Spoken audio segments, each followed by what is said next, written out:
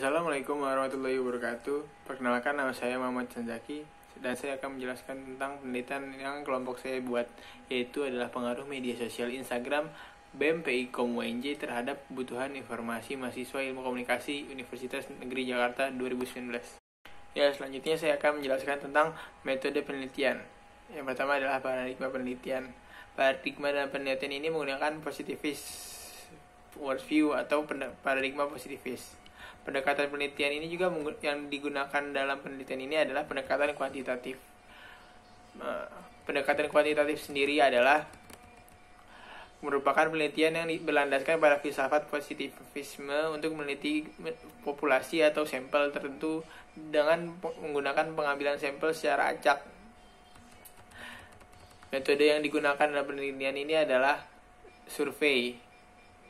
Survei adalah penelitian yang dilakukan pada populasi besar maupun kecil, tetapi data yang dipelajari adalah data sampel yang diambil dari populasi tersebut, sehingga ditemukan kejadian-kejadian yang berhubungan dari satu variabel ke variabel lain. Ya, selanjutnya adalah populasi, sampel, dan teknik pen teknik penarian sampel. Populasi dari penelitian ini adalah mahasiswa ilmu komunikasi UNJ 2019.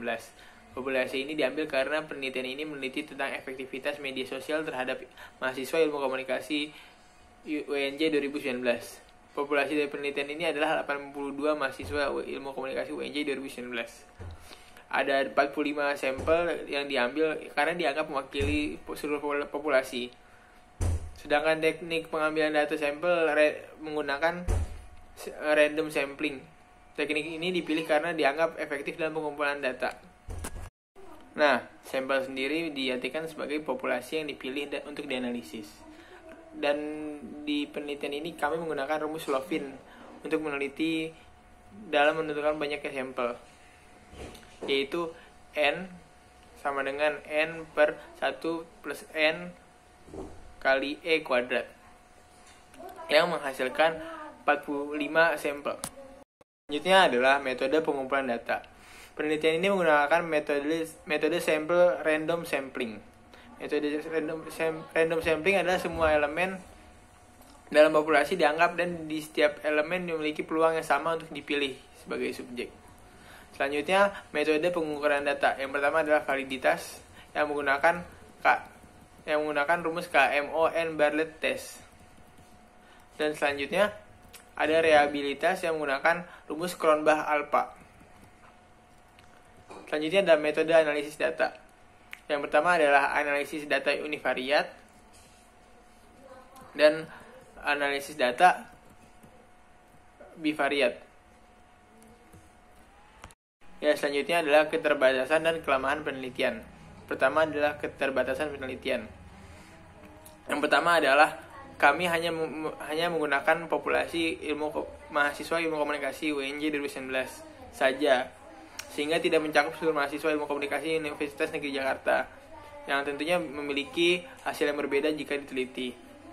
Dan sampel mahasiswa yang digunakan pada penelitian ini hanya sebagian dari mahasiswa ilmu komunikasi UNJ 2019 saja, yang di mana tentunya akan memberikan hasil yang berbeda jika sampel digunakan kepada seluruh mahasiswa komunikasi UNJ 2019. Selanjutnya ada kelemahan penelitian. Yang pertama adalah penelitian ini memiliki konsep mengenai pengaruh dari dari adanya akun media sosial Instagram BMPIKOM UNJ dalam memberikan informasi-informasi terkait dengan program studi ilmu komunikasi Universitas Negeri Jakarta. Yang mana akun ini media sosial BMPIKOM UNJ ini sebagai sarana penunjang dan kebutuhan informasi bagi seluruh mahasiswa Universitas Negeri Jakarta khususnya angkatan 2019. Sehingga konsep yang diambil oleh penelitian hanya membahas akun media sosial Instagram BEM Prodi Ilmu Komunikasi Universitas Negeri Jakarta.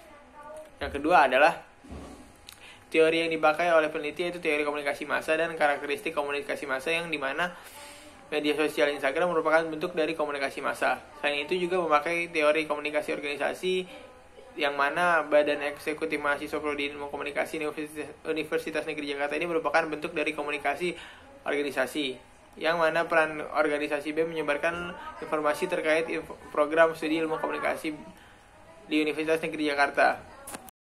Kekurangan selanjutnya adalah variabel yang digunakan dalam penelitian ini masih belum dapat mewakili semua bentuk pengaruh dari media sosial Instagram, BMPIKOM, UNJ.